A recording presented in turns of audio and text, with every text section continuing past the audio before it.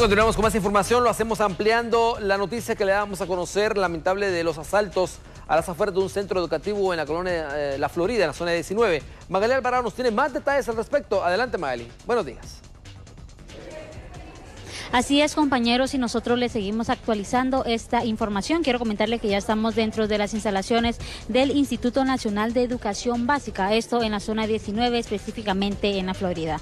Hace unos momentos a, a usted le, le comentábamos sobre casos de robo que se han dado en este punto. Por ello, nosotros estamos acá con uno de los estudiantes que fue víctima de, este, de estos robos. Eh, buen día, tú nos podrías comentar cómo, cómo sucedió esto.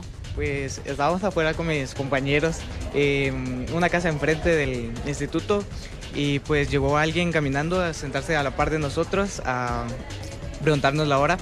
Y en ese caso yo tenía el móvil afuera y luego nos dijo que, bueno, le teníamos que dar las cosas y también nos mostró sus tatuajes de, y que era de Mara 18 y así.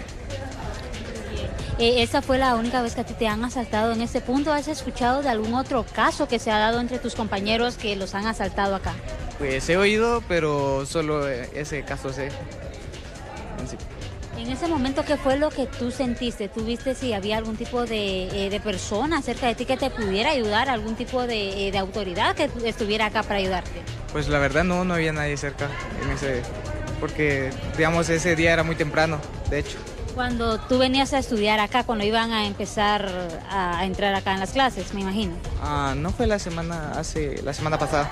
Pero en el horario de la mañana. Ajá. Muy bien, agradecemos eh, tu información. Y amigo televidente, pues este es uno de los tantos casos que se han dado acá específicamente en la Florida, zona 19. Las eh, autoridades acá de este centro nos han comentado que sí han habido incluso eh, niñas y niños que han venido llorando hasta este punto porque han sido asaltados por personas desconocidas, así como este joven nos acaba de indicar hace un momento. Hasta el momento esa es la información que nosotros le podemos trasladar desde acá, sin embargo vamos a seguir averiguando un poco más sobre los casos que se han dado para actualizarle a usted esta y más información. Con ello y con imágenes de Brandon Galeano, yo retorno al estudio principal.